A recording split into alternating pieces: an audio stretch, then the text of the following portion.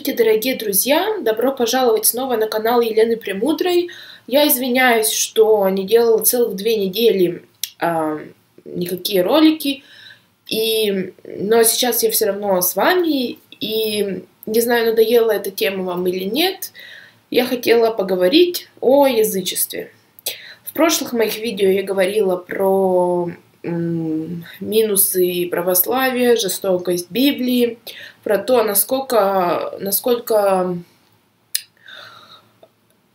более meaningful, то есть важно и имеет смысл, например, просто покормить животных, э, сходить на природу, чем стоять часами в церкви, слушая непонятные э, старославянские молитвы о каком-то еврейском боге, Эм, надеюсь, вы со мной хотя бы наполовину, хотя бы в большую, точнее, хотя бы в большую, большей частью согласитесь. Сначала я бы хотела показать вам вот такое божество, которое я сделала. Я на самом деле еще не решила, когда. Вот он, вот он, вот он.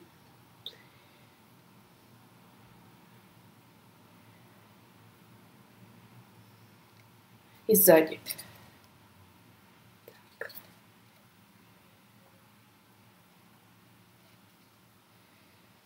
У меня есть просто камера зеркалит, в одну сторону я двигаю, она в противоположную двигается. Вот. Это божество. Кумир, как называется, когда Бог говорил, точнее, Иисус Христос, типа, не создавай себе кумира, он имел в виду идолов, типа, молись только мне. Вот. На самом деле я еще не решила какое-то божество, и многие, наверное, скажут, как так, ты могла это делать, должна как бы была посвящать этому божеству, уже решить, какое оно должно быть, то есть название его там, или это Дождь Бог, или Велес, или Перун, и как бы его уже создавать. Но это на самом деле не так. В язычестве все намного более свободно, и без таких правил. И можно комбинировать богов, э, делать, э, в общем, делать то, как, как тебе удобно. В этом весь смысл язычества. Там нет, в отличие от христианства, догм и каких-то жестких правил. Делай как я, делай как вам сказано. И на самом деле это классно, потому что с высшей силой, с высшим сознанием человек должен общаться так, как ему, ну, как, как ему ближе. Почему кто-то на земле должен говорить, делай вот так, стой там-то, э, молись тогда-то, крестись тогда-то. Кто это такой, чтобы говорить вам, как общаться с, ваш, там, с высшей силой? Каждый равен перед ней. А, вот. Э, итак, я хотела поговорить о язычестве, но на самом деле не я сама хотела поговорить, я хотела вам предоставить вашему вниманию лучшую э, запись, которую я сделала, э, запись видео, где настоящий ученый, антрополог э, из Московского государственного университета рассказывает всю правду о язычестве. Потому что когда мы э, смотрим там родноверие, язычество на YouTube там, или в любом просто в интернете, то там выплывают всякие безумные совершенно ролики. То есть, э, например, этот Патерди, Александр Хиневич, который там говорит, что славяне это там какая-то белая раса, прибывшая из космоса. Потом этот как еще Иван Царевич, который говорит сначала о какая там крепкая семья была у славян, и тут же через э, пять минут говорит, э, все женщины были худые у славян до, до 70 лет, потому что муж говорил, если женщина чуть-чуть поправлялась, муж говорил, если через 10 дней не похудеешь, я с тобой разведусь. То есть вообще, и вообще придумывать просто на ходу, реально, какой-то бред. И люди сидят с открытым ртом и слушают. Просто очевидный придуманный на ходу бред. Я, мне даже стишок пришел э, на ум. Э, Иван Царевич на ходу сочиняет лабуду. Реально. Ну, в общем, его видео распространены, еще всяких, которые пытаются э, с точки зрения того же православия навязать людям то, как нужно вести себя, как молиться, как э, что делать, и сочиняют всякие сказки и небылицы. И неудивительно, что священники легко издеваются над родноверами, потому что, ну, многие из родноверов несут откровенный бред.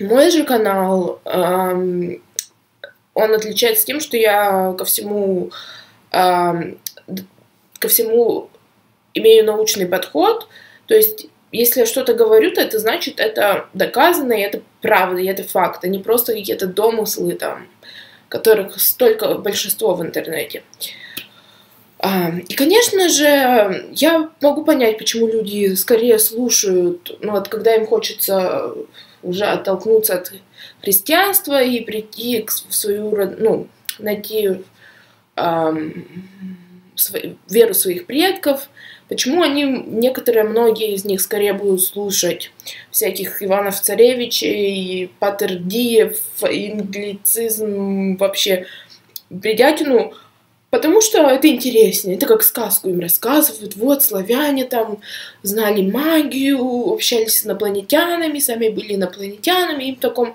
легком э, развлекательном виде преподают, преподносят вот это, весь этот бред в такой виде сказки и говорят, какие же были славяне, суперлюди. Это, конечно же, ну, с одной стороны, как бы интереснее, приятнее слушать, э, то есть сказки для взрослых эти, чем реально ученого, который это изучал, который тебе, ну, скажет, все неоднозначно, а, здесь так, здесь так, никакой особой ну, системы не было, такой четкой, аккуратной э, иерархии богов не было. Конечно же, многим людям интереснее, пускай это будет вранье, но слушать всяких там волхвов. И, кстати, в этом э, аудио, которое я сделала, которым я поделюсь в этом видео, эм, да, он говорит, что волхвов, так, сейчас волхвов развелось эм, родноверческих э, куча, что волхвов-то как таковых практически не было. Э, функции как раз в том смысл и язычество в том, что человек сам общался с Богом, мне нужны были какие-то волхвы, которые ему говорили, как нужно делать. И он, как бы, можно сказать, сам правила сочинял. Что работает, что удобно, он оставлял. Что неудобно, то он отсеивал. То есть человек был сам себе э, босс, то есть сам себе господин, и ему не надо было каких-то волхвов, которые непонятно вообще, откуда они все эти знания взяли, придумали, и сидеть их с открытым ртом слушать. В общем, я думаю, после этого аудио, которым я сейчас с вами поделюсь, у вас будет э, четкое представление, и вы после этого будете точно знать, какой волх несет бред, и какой, к какому можно хоть чуть-чуть прислушаться. То есть это вам даст основу, на которой вы будете четко знать, что, чем славянство, ой, э, язычество славянское, то есть родноверие является, а чем нет.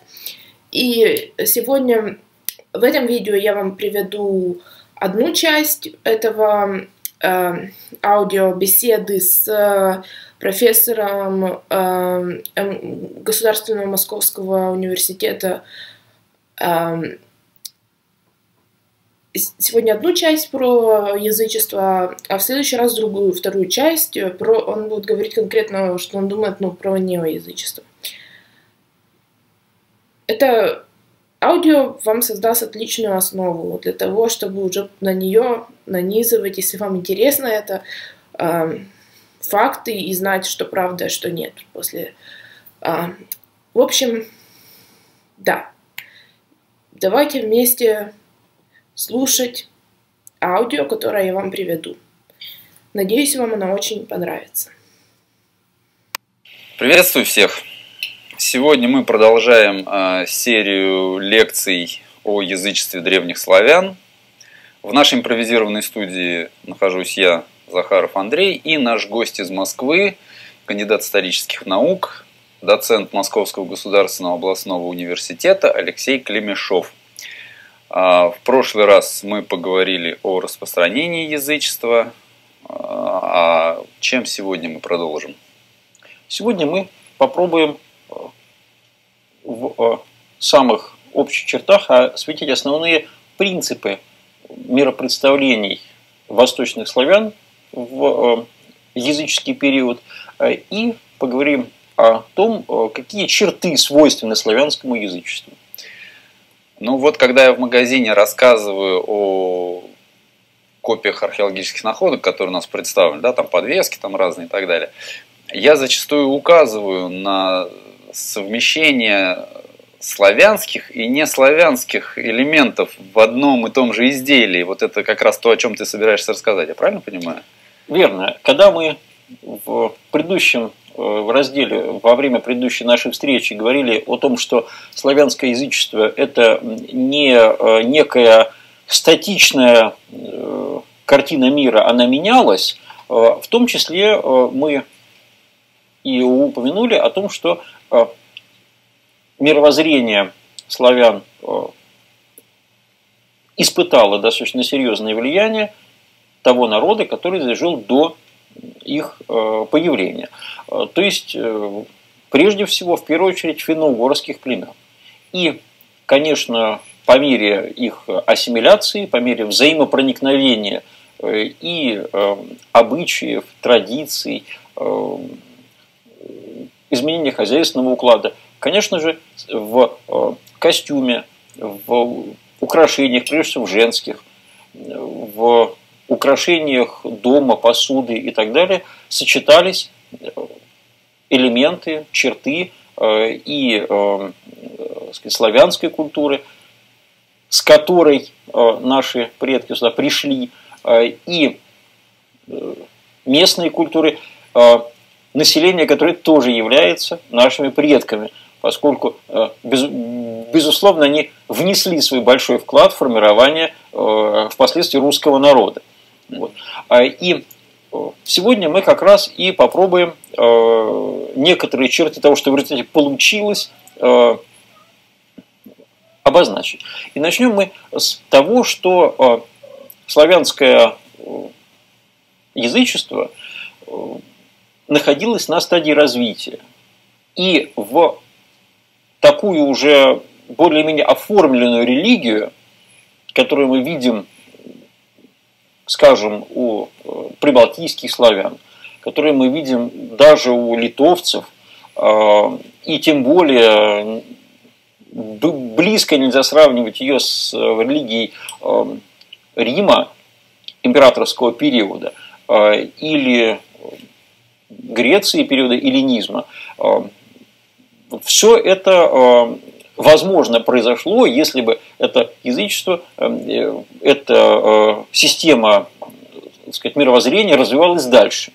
Но этого не произошло. Она э, была вынуждена сказать, меняться в совершенно других условиях. И поэтому нельзя проводить аналогии между, скажем, пантеоном греков или римлян – и пантеоном языческих э, божеств у восточных славян. Э, ведь э, даже у тех же греков, казалось бы, мы все с детства знаем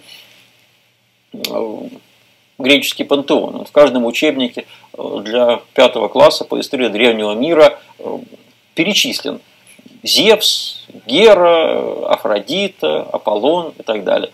Но если мы откроем книгу Аполлодора, мифологическая библиотека, был такой грек, который собрал э, мифологические сюжеты э, в разных их вариантах, в разных вариациях.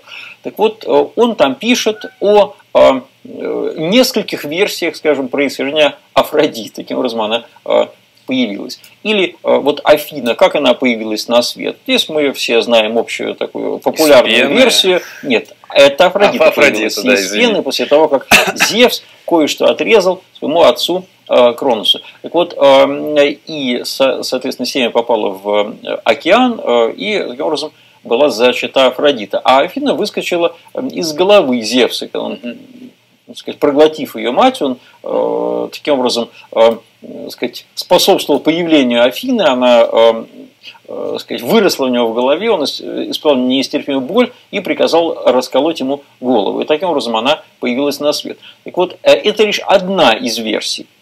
А на самом деле и функции божеств, и э, их взаимоотношения, э, очень сильно могли меняться. Существовала поговорка в Древней Греции – в каждой деревне свой Зевс. Ну, это достаточно красноречиво говорит о том, насколько э, иной раз э, серьезные были вариации. Э, и поэтому греческие боги многолики, ну, как и римские. Мы о римской религии республиканского времени вообще знаем не так много, как хотелось бы. Вот. И конечно, в позднем Риме уже с э, совершенно другим государственным устройством, со, со стремлением к унификации, э, там был, было другое, но, э, собственно, а где мы у восточных славян найдем империю? С жесткой централизованной властью и претензиями на сказать, унификацию всего и вся. Конечно, у нас было совсем другое, поэтому в разных э, местах проживания восточных славян, конечно, были очень серьезные различия, вариации. Э, и, и э, собственно говоря, о каком-то общеславянском пантеоне говорить нельзя. Собственно, такой пример такого пантеона – это результат языческой реформы князя Владимира, но мы видим, что в этом пантеоне сочетаются боги самые разные, и э, даже там нет полной ясности. Ну, скажем, э, летописец, перечисляя э, богов, э, сказать, идолы которых, изваяния которых Владимир установил, вот, он между именами Хорса и Дашбога не ставит соединительного союза «и». Угу. То есть, как будто это один бог. И ряд ученых полагает, что не исключено, что Хорс и Дашбог – это просто синонимы одного и того же эм, Бога. Э, поскольку функции Хорса и Дашбога совпадают во многом, а Хорс – это иранское слово, угу. Дашбог вроде бы славянское. Вот. И э, вот есть версия, что это, в общем-то, Бог-то один, но разные наименования. Вот. Очень интересный бог Симаргл. И вообще непонятно, что это такое. И вообще непонятно, бог ли да, это, и вообще может, бог хтоническое существо. Совершенно да. точно. Вот. А, много вопросов к Сварогу. Как я уже сказал, упоминаний того времени практически нет. Хроника Иоанна Малалы в славянском периоде XII века. А, очень а, спорный персонаж бог Род. Знаменитый советский археолог и историк – академик Рыбаков настаивал на том в своем язычестве древних славян, э, что бог Род – это, собственно, э, одно из главных божеств. Верховный бог. Верховный бог, потому что э, в этнографии зафиксирован и в поучениях церковных в качестве некой критики народных обычаев, еще не изжитых, языческих, а, упоминаются приношения роду и роженицам. Угу. Вот. А вот а, род кто в данном случае? И есть достаточно эм, такая, так сказать, серьезная историографическая традиция, которая в известной степени идет от Рыбакова, что э, этот самый бог род – это э, один из ключевых э, богов славянского пантеона. А тогда как э, другие ученые достаточно сказать, резко э, раскритиковали эту концепцию. И вот э, Лев Самуилович Клейн написал несколько работ, в которых в пух и прах разносил эту, так сказать, версию. Так что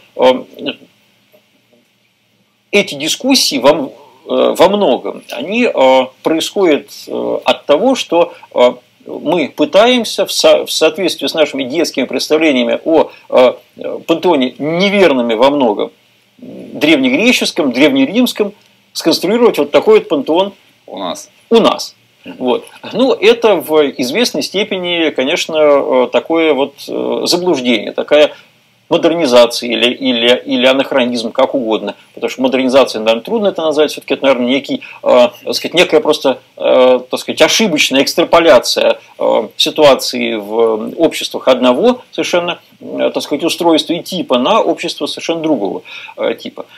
Это э, первое. Э, то есть э, вариативность при сохранении, возможно, нескольких божеств популярных и почитаемых в разных краях, но поскольку все-таки э, славянская общность еще не разделилась настолько сильно и происходило вот от, одного такого корня, пусть и довольно большого, конечно, э, и мифологические представления были во, многом общими, э, так что нельзя тоже говорить, что в каждой деревне были свои боги, это тоже не совсем так. Но вот представления о, о богах и их такая персонификация, они могли очень сильно меняться. Второй момент, который значит, касается э, также мира богов. Мы э, в соответствии с, может быть, церковной традицией и книжной традицией, может быть, сказать, изобразительной традиции, представляем себе иной раз почитание богов в очень таком примитивном виде. Э, прямо даже становится обидно за э, восточных славян, что они были такие э, недалекие ребята, они действительно верили, что вот этот вот идол – это и есть Бог, и ему надо сказать, поклоняться и так далее. Все-таки представления наших предков о мире божественном, они были намного более сложными. И, э, безусловно, здесь соседствовала и определенная персонификация э, силы явлений э, природы, но нельзя говорить и о том, что происходит обожествление каких-то природных явлений. Скорее здесь речь о представлении в таком виде, более удобном, неких принципов мироздания, скажем, животворящей силы природы, сказать, разрушающие силы. И мы хорошо видим, что в разных вариантах разные боги, грубо говоря, отвечают иной раз за одни и те же вещи.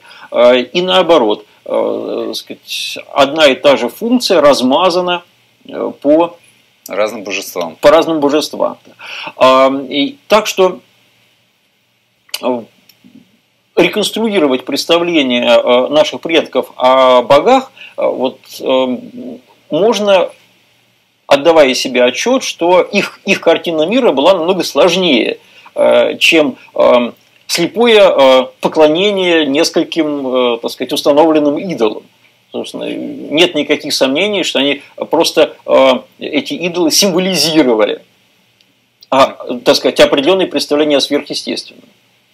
То есть, возможно, это просто были как у нас памятники, например, да, у них. Нет, ну, памятники, э, понимаешь, памятники это. Ну, то есть чисто штука, утилитарная вещь. Да не совсем так. Все-таки, э, когда мы э, пытаемся обратить на себя внимание этой силы или наоборот сделать так, чтобы она не обращала на нас внимания излишнего.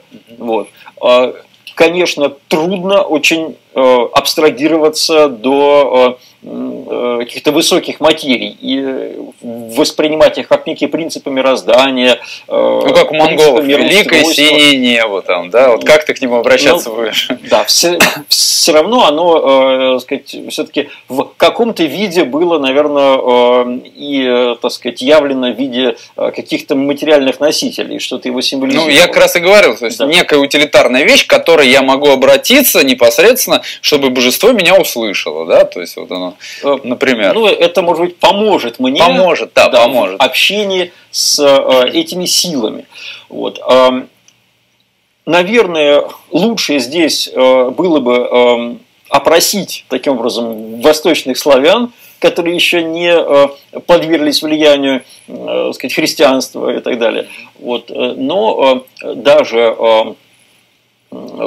в описании правда э, верований э, западных славян и прибалтийских славян немецкие миссионеры отмечали, что э, вот, в частности, это есть у Гельмольда, который пишет о славянах, и Адама Бременского, что в представлениях о сказать, сверхъестественном эти язычники понимают, что есть некая единая сила, которая сотворила этот мир, и э, это должно было, по идее, помочь э, доказать, что этой силой является Христос. Христос. Да, и э, таким образом проще было их, наверное, этих э, язычников переубедить. А, Так вот, э, э, но мы не имеем, конечно, возможности поговорить с нашими дальними предками. Это можем только, только догадываться, как именно они представляли себе сверхъестественные вещи. Вот. А, Третья а, достаточно важная вещь – то, что а, у нас в силу где-то и того, что язычество развивалось в догосударственных обществах, в а, племенах, которые еще не а, перешли определенный уровень в, так сказать, организации общественной и государственной, а, не было и сколько-нибудь многочисленного и четко выделенного жреческого сословия и вообще жречества. Безусловно, жрецы были, поскольку были культовые центры. Уж тебя сейчас язычники не будут любить. Не будут меня любить неязычники. А, ну, Культовые центры, безусловно, были. Их было не так много. Собственно, и у прибалтийских славян их- было не так много, общезначимых. А, Вот. э, Но э, говоря о э, волхвах, которые сплошь рядом мелькают на страницах летописи, мы должны быть очень осторожны. Поскольку, проживая рядом с э, финно-угорскими народами, вот, а славяне э, едва ли каким-то образом изменили э, практику, ну, если не шаманизма, конечно, о шаманах у финографов, наверное, нельзя говорить, вот, но таких, э, э, сказать, людей, э, аналогичных э, сибирским шаманам, мы, мы встречаем в мифологии финно-угорской э, мудрецы, э, которые обладают такими способностями персонажи Калевалы. Вот. А, И какой-нибудь такой Вяйнамёнин, вот, он, конечно, не жрец в полном смысле этого слова.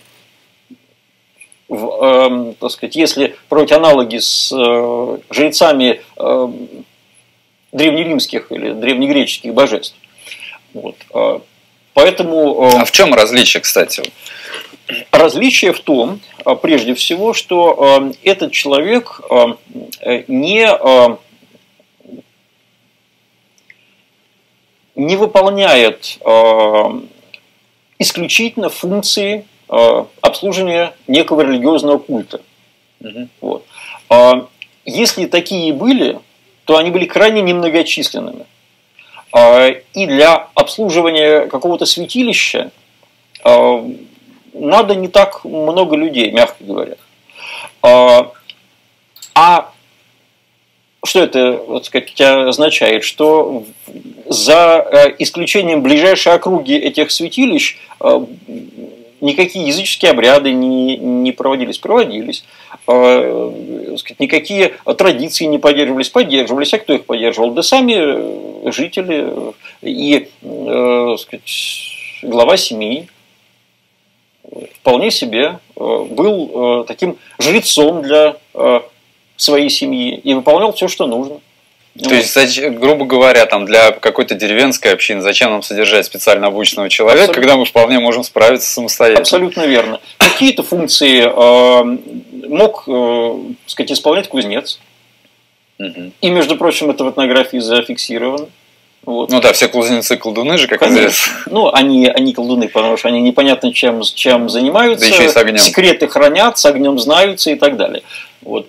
И, э, между прочим, представление о неком божественном кузнеце, который э, э, является таким культурным героем, э, они же ведь никуда не делись. Вот, и я, кузнец, я как бы повторяю действия своего божественного предка и, так сказать, культурного героя. А, И поэтому, конечно, говорить о каком-то серьезном жреческом сословии, которое бы а, э, был, э, значит, имело какие-то унифицированные э, обряды, культ и так далее, нельзя. были некие традиции, но они могли в каждой деревне различаться. Вот. И надо сказать, что да и в античном мире, в каждом полисе культ Афины или культ Аполлона мог очень серьезно различаться. Вот. Но надо сказать, что и в сказать, античном мире э, огромное количество сказать, ритуальных действий э, производил э, глава семейства, например. Но там, по мере развития общества, по мере сказать, развития государства, значительная часть населения обслуживала, что называется, культовые потребности, культовые запросы людей. Здесь у нас такого, э, в принципе, э, сказать, быть не могло, потому что на данном этапе сказать, поддержание прокорм, грубо говоря, такого большого количества сказать, жреческого сословия, он был просто, он был просто невозможен. Вот. А, и вот когда мы встречаем, я сказать, вернусь к сказать, истории с новгородским восстанием конца XI века, когда появляется некий Волхв, который э, говорит, что все зло э, и весь голод, а там э, сказать, был, был голод и болезни, что все эти неприятности, несчастья, они происходят от, в том числе от э, христианства и от того, что вы крестились.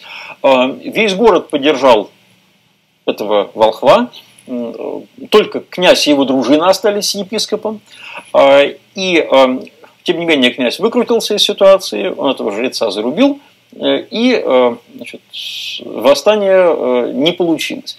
Но, тем не менее, вот кто этот был Волх? Он был славянским неким жрецом или он был финно-угорским жрецом? Это интересный вопрос. То есть у финно-угров все-таки жрецы были? А, и То есть, у... как ты говоришь, аналоги шаманов. Вот и у славян, и у финно-угров очень незначительное количество людей такие функции, безусловно, выполняла, особенно в крупных религиозных центрах. Угу. Вот. И есть все-таки некие основания думать, что у финно-угров э, идея э, э, сказать, э, такого шамана-знахаря, э, она была более распространена, чем у славян. Э, по крайней мере, мы э, сказать, находим и в этнографии, и в мифологии определенные так сказать, следы этого тоже я, я не думаю, что это было какое-то массовое, массовое явление. Вот. Поэтому э, значит, э, когда у нас на некую неоязыческую общину из 15 человек трое жрецов или там четверо, в общем, таких, что называется, профессиональных, э, ну, это в большой степени, конечно, некая, так сказать, странные интерпретации ситуации. В обычной сельской общине с высокой вероятностью никакого такого жреца не было.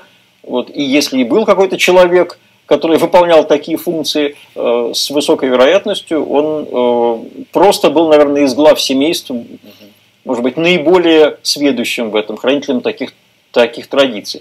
Другое дело, что э, очень распространена была ситуация, когда пожилые женщины занимались э, знахарством, э, э, родовспоможением и так далее. А, ну, это нормальное распределение функций в традиционном обществе.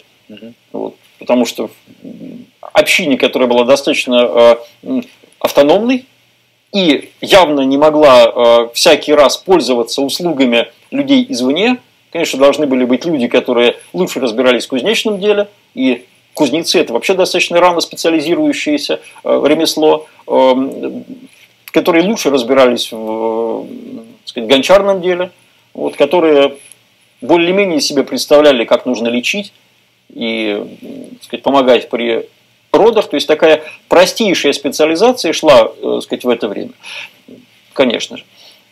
А, Еще э, важным э,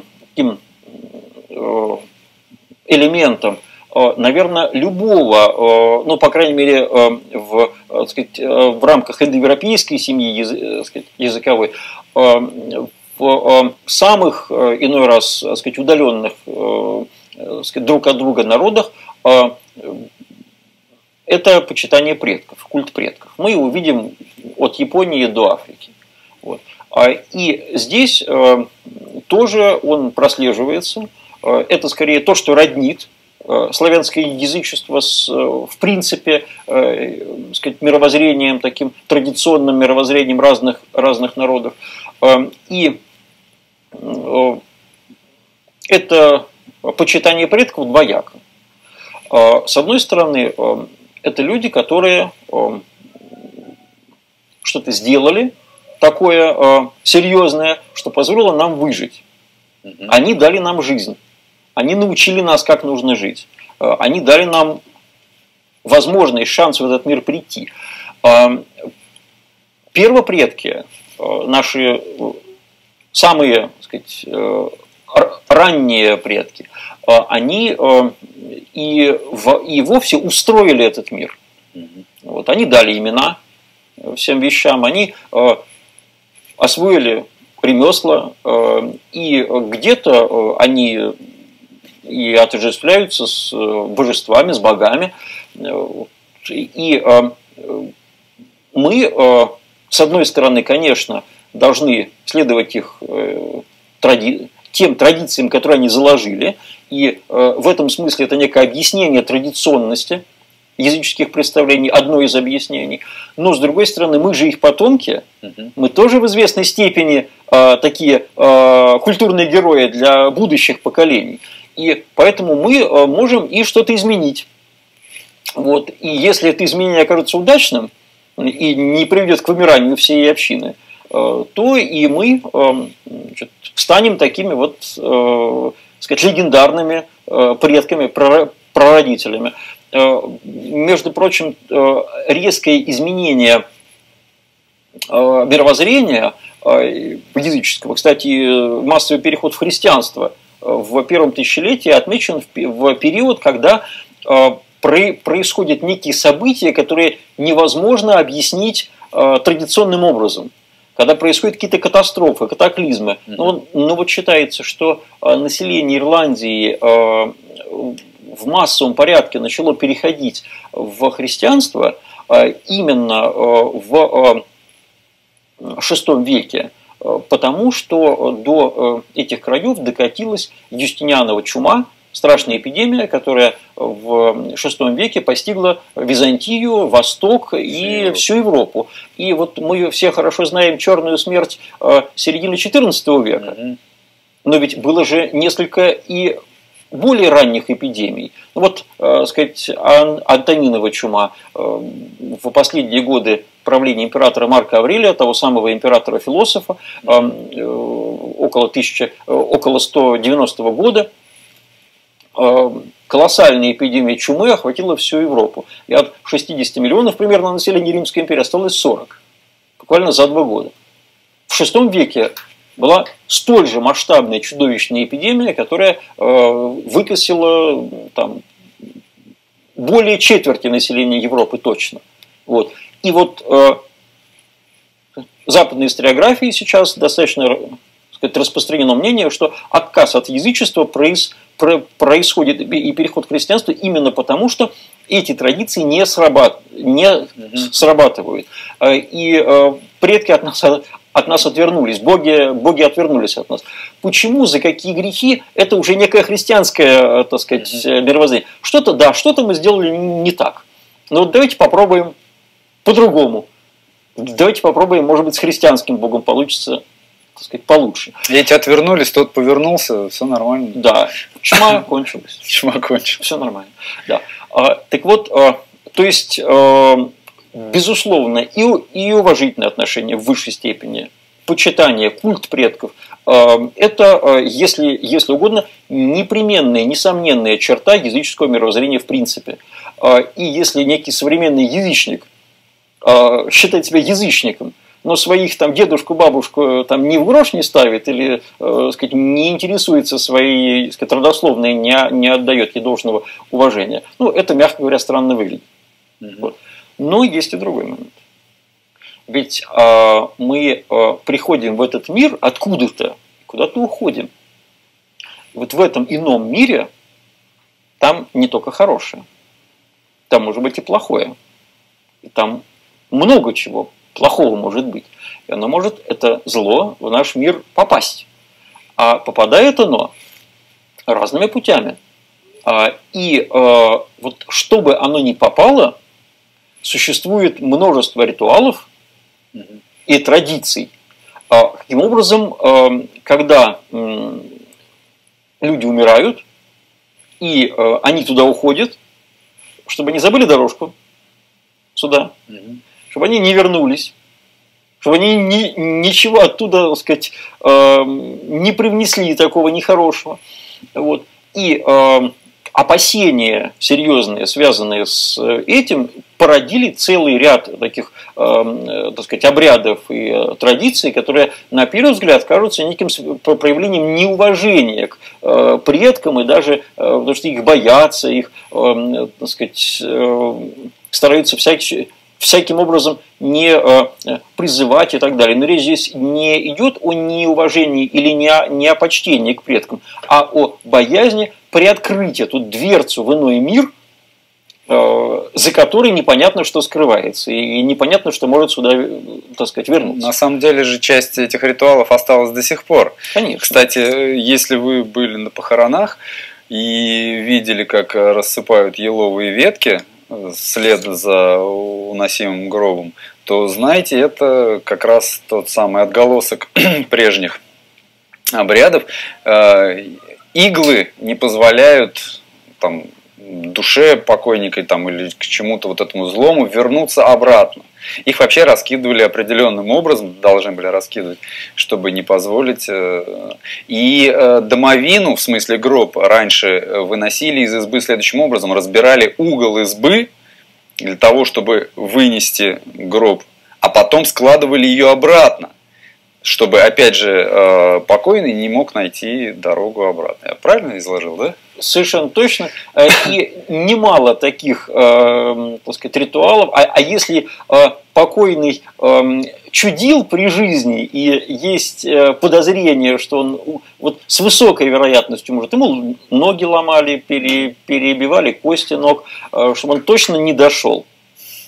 Вот. Ну а еловые ветки, что, наверное, это, это, это такое минное поле, полоса препятствий для, для покойника. А, так что, вот еще раз подчеркну, это не свидетельство некого неуважения или непочтения предков. Это некое опасение, что, а, воспользовавшись тем, что дверь в иной мир открывается, а, оттуда может, оттуда может что-то нехорошее прилететь. А так наши предки с нами, они нам помогают, они следят за нами, к ним можно обратиться, можно прийти к ним на могилу, э, или вот если э, в этом так сказать, регионе распространены курганные погребения, то на курганы и сплошь и рядом есть ситуации, когда курганные группы непосредственно примыкают к э, селищу.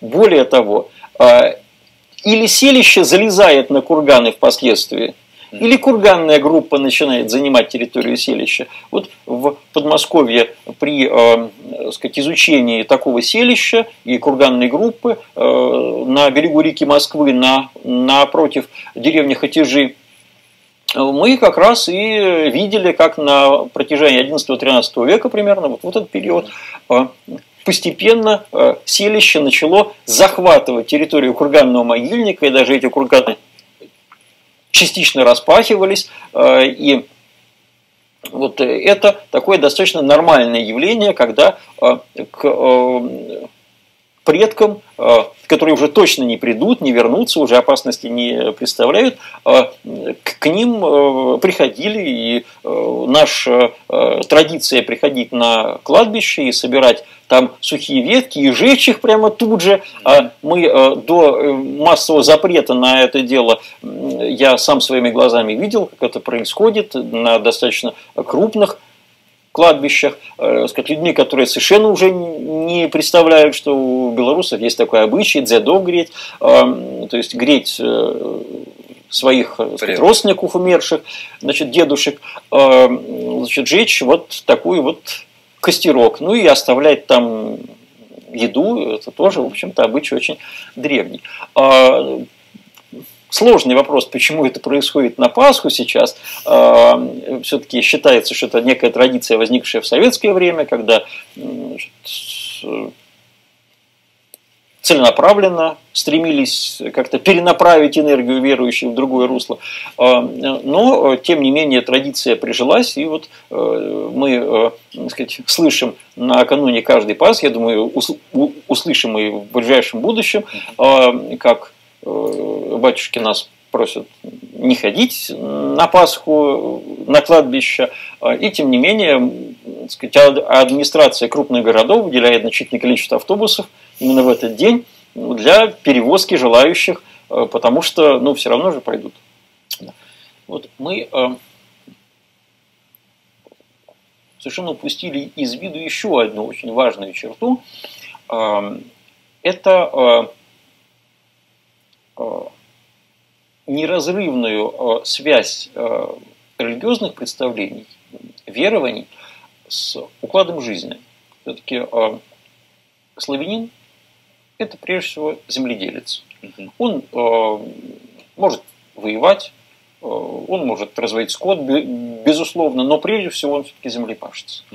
Э, и э, поэтому, когда э, на территории э, Восточной Европы в процессе расселения э, быт и уклад жизни славян э, менялись, пусть и, может быть, не радикально, менялись и миропредставления.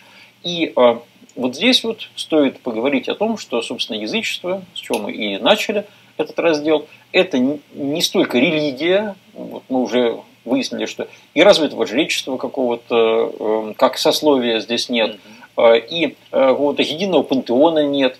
Э, это образ жизни, это мировоззрение, которое неразрывно соединяет э, и хозяйственную деятельность, и досуг, и представление о эм, сверхъестественном, сказать, магические представления.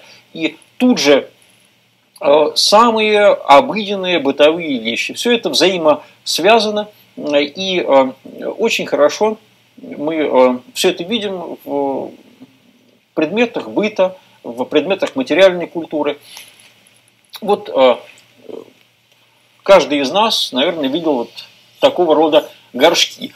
А, это, а, казалось бы, достаточно, так сказать, утилитарная вещь. А, ну, это уже круговая, так сказать, керамика. У славян то этого времени доминировала, конечно, лепная керамика. Ну вот лепного горшка такой... У нас сказать, в магазине не нашлось. Лепной корчаги здесь мы не обнаружили. Но, но даже и э, у этой такой кринки э, есть э, части, которые имеют вполне себе сказать, ритуальное и магическое назначение. Ну, я сразу оговорю, что это не свойство только славянской, собственно, культуры. Вот, вот казалось бы, обычный горшок. Но у него есть венчик, ну такое, голова, венец. Угу. Вот. У него есть горлышко, как у нас.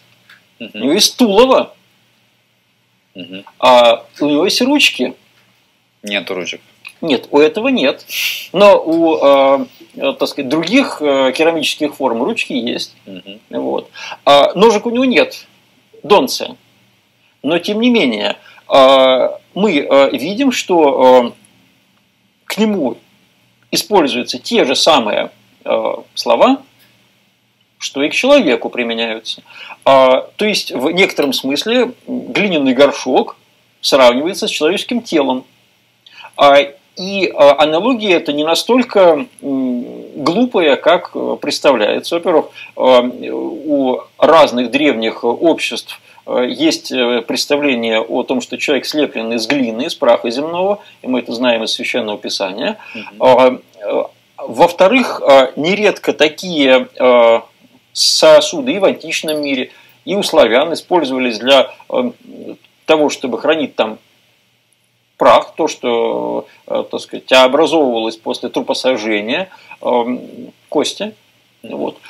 И подобные погребальные урны – э, сказать, известны у самых разных народов.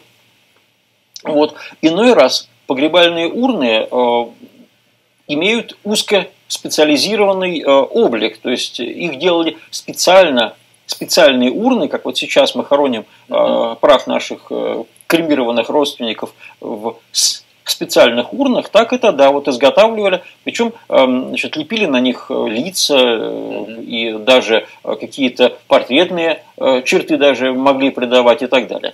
Вот. Так что при, казалось бы, такой вот простоте этого изделия мы видим в нем отражение целого колоссального мифологического пласта и о том, каким образом человек появился на белый свет – и э, сказать, каким образом э, он на тот свет уходит и так далее.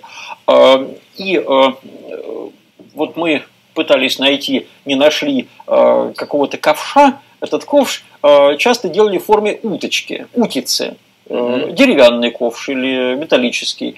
Да, конечно, где-то это византийское влияние. Там тоже, сказать, иной раз э, делали ковши в э, форме близкой к э, форме такого древнерусского ковша утицы. Но, тем не менее, все-таки, скорее всего, это наше собственное поскольку уточка – это персонаж, очень важный персонаж как раз для финно-угорского фольклора и финно-угорской мифологии.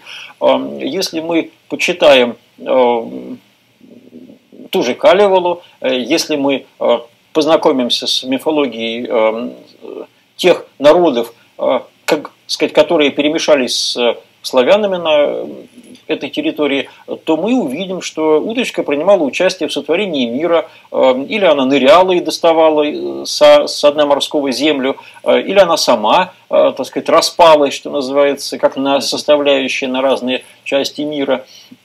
И э, в э, сказать, оберегах, в украшениях э, мы часто видим такие вот, таких вот уточек. Вот у меня в руках... лапки. Да, значит, так, так сказать, такая подвеска, и мы здесь видим, что такие импровизированные коньки здесь, но это, так сказать, реплика уже средневековая, но если совместить вот такого вот конька, который часто венчал и гребень для расчесывания волос, и такую подвеску, э, то э, пределов к таким конькам э, утиной лапки мы получим классическое финно-угорское женское украшение.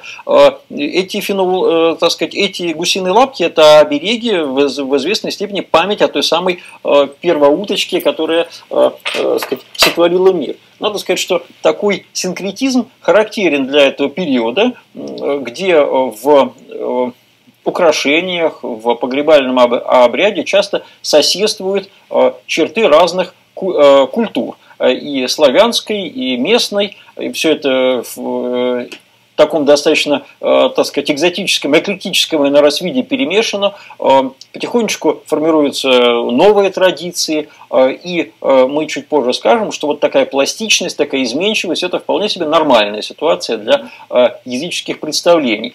Отсутствие какого-то канона, каких-то жестких догм, все это, сказать, в общем-то, языческому миропредставлению чуждо.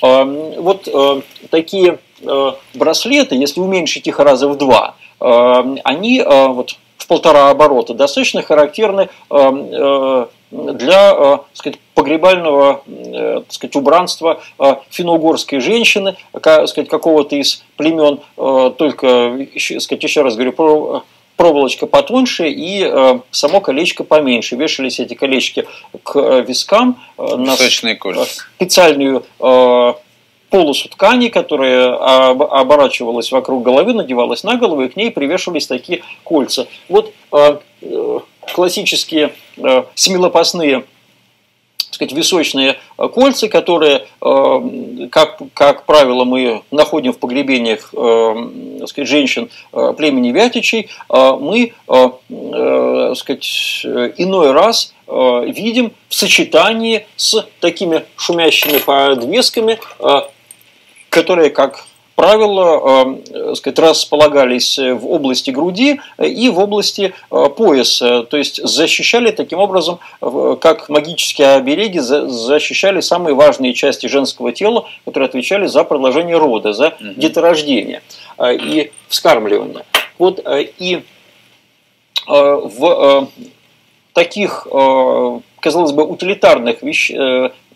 предметах, как ковш, или, сказать, украшение, или вот браслет, женский браслет с орнаментом типа волчий зуб, мы тоже видим некое такое двойное, а может быть и тройное значение. С одной стороны, это, конечно, утилитарное э, приспособление для того, чтобы застегивать рукава в области запястья, и чтобы эти рукава не болтались не мешались, и, при, работе. не мешались при, при работе. Вот. Э, но одновременно это и э, некий магический предмет, который не пускал внутрь рукава э, ничего плохого, грубо говоря, который защищал свою, свою владелицу. Э, и э, вот такое сочетание магического и утилитарного назначения, оно очень, очень характерно для языческой материальной культуры. А, ну, а кроме того, есть еще и третье значение. Это красиво, это, это эстетически красиво. Не надо отказывать нашим предкам и в чувстве прекрасного, и в умении эту красоту выразить ее создать. И, эм, опять-таки, возвращаясь к э, уточке, э, ковш одновременно с нанесенным там, допустим, солярным э, символом, какой-нибудь свастикой, достаточно распространенный у славян символ, который символизировал солнце, бег солнца по небосводу, смену циклов времен года и так далее. А, он, а, э, этот самый предмет, этот ковш, одновременно является и вполне себе утилитарным предметом. А, ковш в форме уточки достаточно удобно держать в руках и пить из него. Если бы он был круглым, это было бы не так удобно. Его нужно было вот прилагать усилия, чтобы держать, а так он сам ложится в руки. С другой стороны, а, э, сказать, э, завиток, который одновременно, может быть, сказать, изображает хвост этой самой уточки. Это ручка, за которую тоже удобно взяться. А, одновременно он э, является магическим предметом и э, отражает очень древний миф. Вот. А, а с третьей стороны он, он просто эстетически красив. Он приятно выглядит, на него приятно смотреть. Это часть домашнего убранства. Надо понимать, что жилища славян были не такими большими, красивых вещей там было не так много, а душа человеческая испокон века стремилась к красоте. Вот. А, и вот эта а, взаимосвязь а, на разных уровнях и э, сказать, представление сверхъестественным и вполне себе утилитарных бытовых вещей, она является, еще раз повторюсь, э, одной из важнейших особенностей языческого мировоззрения. Э, ну и э, мы перейдем еще от этого к близкому, так сказать, родственному такому сюжету, а именно к области распространения языческих представлений. Все-таки такой классический язычник, конечно, это земледелец. Э, это человек, который живет в э, сельской местности, э, не в городе. Когда человек входит в город, у него меняется и образ жизни, и характер занятий. И хотя какие-то верования он обязательно с собой туда, в этот город притащил, тем не менее, уже это будет другой образ жизни, это будет другой уклад, и, соответственно, под влиянием этого другого уклада будет и другое мировоззрение формироваться. И не случайно именно в городах э, быстрее всего начинает распространяться христианство. Здесь есть и политический мотив. Конечно, князья стремились распространить э, нужную им э, сказать, идею, идеологию в наиболее значимых крупных центрах, опорных центрах, одновременно и укреплениях. С другой стороны, это и проще было сделать. Почему э, крестьянин, земледелец, землепашец э, так э, цепляется за языческие представления? Почему они доживают до 20 века иной раз? Ну, потому что это часть жизни, это часть уклада бытового. Это неразрывная составляющая его ежедневных, ежечасных забот, его смены видов деятельности. И если у него выстроен определенным образом этот ежегодный, ежемесячный ритм занятий, поменять его, ну, во-первых, не так просто, а во-вторых, очень опасно. Почему так консервативен крестьянин? Потому что он прекрасно понимает, что если он Э, его предки выживали определенным образом, пусть и трудно, пусть и нелегко, но выжили же ведь. Значит, мы все правильно делаем. Значит, э, вот соседи сделали неправильно и умерли все, или там какая-то часть их умерла. Вот, а мы все делаем правильно, и мы живем. А, а любое новшество – это риск, это опасность. Ведь э, не было никаких э, форм, так сказать, страховки для крестьянина и для крестьянской общины. Не от кого было ждать помощи. То есть проэкспериментировал, умер. Про... Абсолютно верно. Это горожанин, ремесленник. Если вдруг получилось так, что в этой области город, это самое, голод, он мог купить зерно в другом месте. Это зерно бы ему привезли, и он бы покушал. А крестьянин откуда? На что ему? Товарно-денежные отношения были на достаточно примитивном уровне, денег у него не было у крестьянина, а продать ему тоже было особо нечего, а все, что у него было, было у любого, так сказать, крестьянина. А и он мог рассчитывать, не один крестьянин, в одиночку никто бы не выжил. Община, сообщество, хутор, это как-то мы, сказать, еще один грех модернизации такой, мы переносим представление о русской крестьянской общине второй половины XIX века э, на э, ситуацию э, сказать, восточных славян там, 8-9 века. Конечно же, это глупость.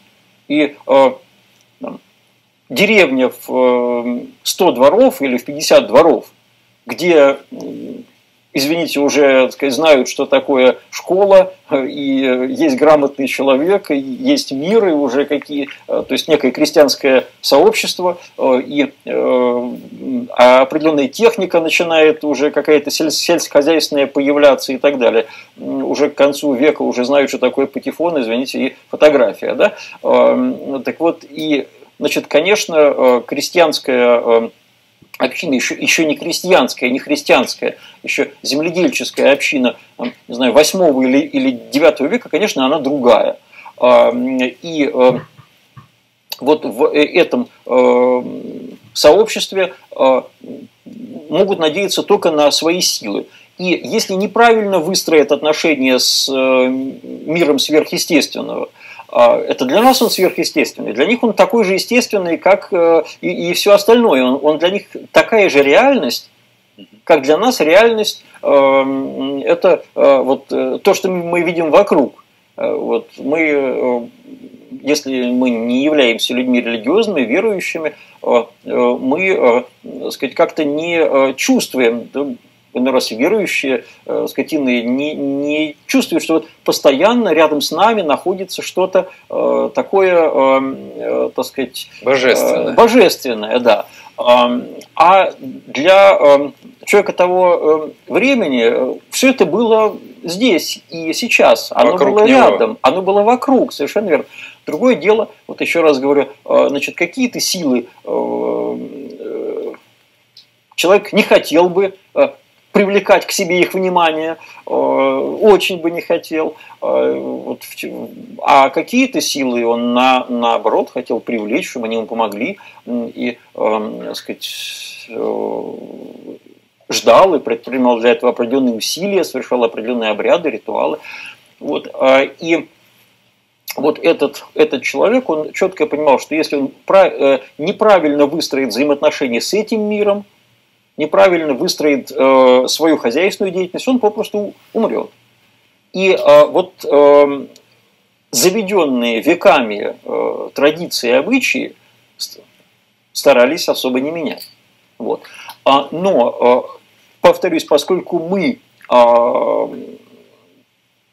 наследники наших предков, которые обустроили этот мир – который мир, который для многих замыкался в, в э, масштабах ближайшей округи, э, сделали пригодным для проживания, сделали миром человека, а, то мы тоже можем попытаться попробовать в какой-то сложной ситуации, если вот нельзя уже по-старому, если ситуация требует от нас каких-то изменений, мы можем попытаться сделать что-то по-новому.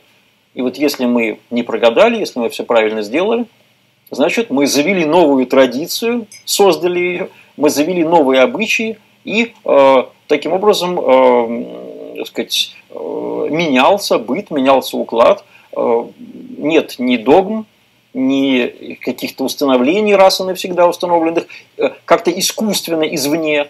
Э, вот у нас так сложилось, и это правильно. Вот мы изменили, все хорошо, стало жить лучше, или, по крайней мере, так же, ну, значит, это, это тоже правильно.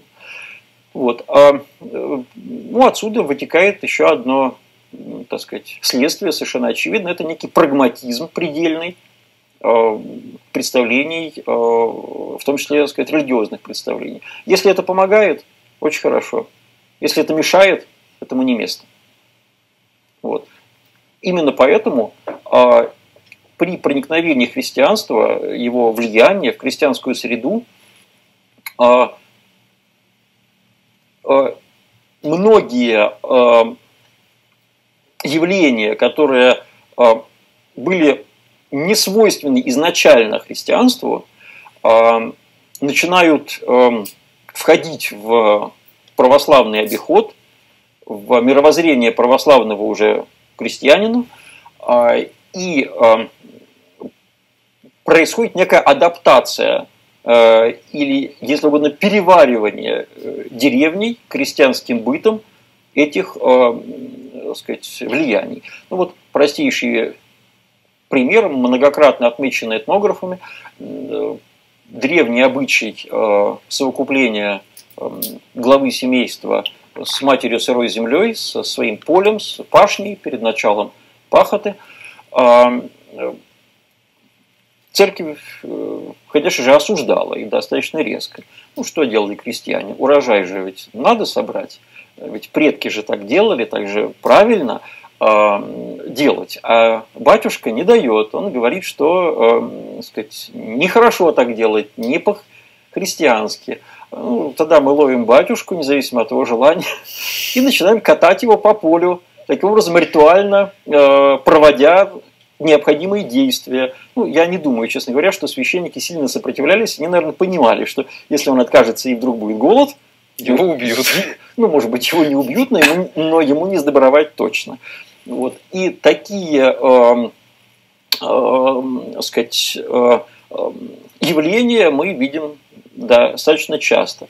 Э, э, поэтому э, говорить о некоем двоеверии, как это часто делают, конечно же, нельзя. Человек не может иметь две веры одновременно, у него сломается голова. Конечно же, это, это, это одна вера, в которой сочетаются удивительным образом и элементы языческого мировоззрения и адаптированные, э, переваренные э, элементы христианского мировоззрения. Э, и все это укладывается в единую систему, все это связано с сельскохозяйственной деятельностью, сельскохозяйственным циклом, с домашним укладом. И выстраивается уже новая непротиворечивая картина мира. Вот это важно. И в э, э, картине мира язычника не может быть противоречий. Угу. Вот. Если они есть, то они дуалистические, как, как, как единство и борьба противоположности, как в случае с культом предков, мы только что об этом говорили. Вот. Э, в отношении дома Э, мы видим такое же, в некотором смысле, очеловечивание его, э, антропоморфизм в э, так сказать, отношении дома. Мы видим, что у дома есть матица, некая основа, что есть окна, окошки, то есть очи. Угу. Вот. А у печки есть устье, уста. Вот. Мы, идучи от себя, весь мир вокруг себя устраиваем по своему образу и подобию, если, если угодно. Э, и меряем по своему аршину. Как человек строил дом? Он приходил эм, на какое-то место и ставил эм, дверь под себя, лавку делал под себя, печку отверстие в печке, опять-таки, под себя, в зависимости от своего роста, от э, сказать, роста своей жены э, и так далее, чтобы ему было удобно, практично это использовать. Э, то же самое касается и мира сверхъестественного. Вот такой вот э, последовательный прагматизм. Ну и э, можно много, много говорить о конкретном проявлении этих принципов в одежде, в быту, э, в сельскохозяйственной деятельности и так далее. Ну и, наконец, в качестве такого финала хочется сказать и о очень серьезной, большой вариативности. Но мы этой темы уже касались. В каждой конкретной ситуации формируются при сохранении общих принципов, формируются э, э, свои нюансы, свои отличия. Э, и на юге потеплее, и там дом ставят по-своему, на севере похолоднее по-своему. Принципы устройства дома одни и те же. Прагматизм, целесообразность, удобство, соответствие всем необходимым параметрам. И, конечно же, э, это удобство, этот прагматизм касается и магии, например. То есть э, в этом доме должно быть не только э, удобно жить, но и он должен защитить своего хозяина от всех неприятностей и напастей, которые для язычника были столь же реальными. Холод, мороз и злые духи были в равной степени реальными, потому что ну, в известной степени мороз это и есть проявление деятельности этих негативных сил, э, и наоборот, эти негативные силы – это некое, э, так сказать, э, очеловечивание или опредмечивание так сказать, явления природы. Вот это, это все едино. То есть получается, что у нас постольку, поскольку ты говоришь, что в разных регионах получается, у нас разные верования, да, ну, вернее, они едины как бы в рамках общего языческого представления, да, но при этом что-то свое. Перефразируя, кстати, твою самую поговорку про Зевса, есть же славянская поговорка такая, в каждой избушке свои погремушки. Абсолютно. Вот. То есть, получается, у нас в разных регионах могли быть совершенно разные пантеоны, да? Ну, собственно, ну не совершенно, но не было, бы... не было какого-то происхождения, а пантеоне, то есть о, о, о каком-то четком э, собрании неких э, так сказать, божеств с какими-то конкретными функциями, присущими им, атрибутами и так далее. Э, был некий уклад. Этот уклад включал в себя некие так сказать, ритуальные действия. Эти ритуальные действия да, должны были так изменить мир, чтобы помочь этому человеку выжить, Эм, я э, очень сильно сомневаюсь, что при всей достаточно глубокой мифологии обычный э, сказать, язычник земледелец имел в голове очень четкую такую значит, картину, где по полочкам были бы расставлены все божества, у каждого божества свои э, так сказать, причиндалы и, и так далее. Он это воспринял как некую живую картину мироздания. Вот. Где для того, чтобы вот это случилось, нужно было вот это сделать. А чтобы вот это было не случилось, нужно было сделать вот это. А все это в значительной степени проявлялось в деятельности. Это важный момент. Это мы сейчас все это представляем в э, каких-то визуальных картинках, пытаемся нарисовать э, вот, достаточно много, я видел попыток изобразить э, сварога провести классификацию Бога, провести некую классификацию. А, я думаю, что такой задачи, а, так сказать, не мы а, их делим на низших, высших божеств и так далее. Это же искусственное деление. В данный конкретный момент времени для меня самый важный, так сказать, сверхъестественное существо – это банник, потому что я собираюсь попариться, и мне хочется, чтобы э, со мной все было хорошо. Вот. А в какой-то момент какая-то русалка, прости господи, которая э, вообще, вот к слову о русалках, э, в разных традициях народных, ведь русалки изображались очень, очень по-разному. Это в нашем таком вот обыденном представлении русалка – это такая голая девка с рыбьим хвостом. На самом деле это просто некая интерпретация античной сирены, э, хотя сирена тоже была не голая девка с э, Рыбьим хвостом. рыбьим хвостом, да. Достаточно почитать Одиссею, чтобы узнать, как они выглядели, эти сирены. Вот на юге России. Э, сплошь рядом представляли себе русалок в виде птиц с женскими головами и с, э, так сказать, вт- вторичными половыми признаками. А для севера иной раз, и вот Афанасьев об этом пишет, э, в свои, э, так сказать, его э, сборы э, об этом говорят этнографические, что это жена Лешего, такая же волосатая, которая бегает по лесу и время от времени выходит к речке, расчесать свои волосы, и там посидеть на ветках и так далее. Только это не рыба туда забирается, карабкаясь, подтягиваясь изо всех сил. Мгм. Это такая обезьяна большая, Волосатая. волосатая. Да, она сидит на эм, суке или на камне часто, вот расчесывает свои, свои волосы и так далее. Ну, э, у нас есть э, достаточно такая боевитая группа криптозоологов, которые пытаются увидеть в этом э, некое проявление деятельности таких снежных людей, которые у нас тоже здесь, оказывается, водятся в изобилии.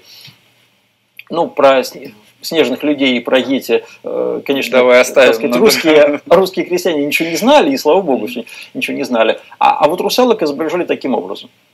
И, и, э, подводя некий, э, так сказать, итог, мы видим, что несмотря на желание наше каким-то образом увидеть язычестве восточных славян некую стройную систему, э, эта стройная система э, может быть лишь не- неким искусственным нашим построением. Я имею в виду не э, общие принципы мировоззрения, их можно выделить, реконструировать достаточно, я, я надеюсь, очевидно, а, а какую-то конкретную эм, перечень функций божеств, Мгм. перечень божеств, э, соотношение э, божеств высших и низших.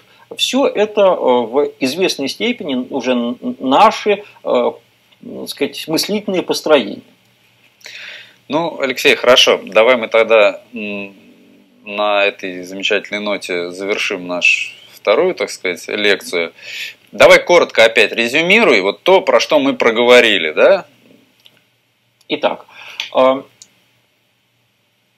славянское язычество этого времени э, находилось в стадии э, формирования, трансформации. Трудно выделить какой-то период, в котором мы можем говорить о том, что эти религиозные представления окончательно сформировались, и все, больше они не, не менялись. Это, это не так. И поскольку процесс этот лишь шел, государство еще не появилось, некому было обеспечивать э, механизм функционирования жречества как отдельного сословия, э, добиваться э, появления какого-то единого пантеона. Славянское язычество при сохранении общих принципов достаточно вариативно. Это первое. Второе. Оно э, очень пластично э, и может изменяться и варьировать. э, И этому есть вполне себе очевидное объяснение, поскольку помимо так сказать, разности условий, даже в одних и тех же условиях, поскольку мир творили, помогали устраивать, делали его пригодным для нашего проживания, для, для нашей жизни, наши предшественники, наши предки, и культ предков – это очень важная часть языческого мировоззрения, то и мы, как их продолжатели, как унаследовавшие, если угодно, от них вот эти возможности, э, мы тоже можем на свой страх и риск, конечно, по- попытаться изменить, если есть такая острая необходимость. Но, и это важно, а, такое, эм, э, так сказать, эм, такие изменения э, – это дело опасное.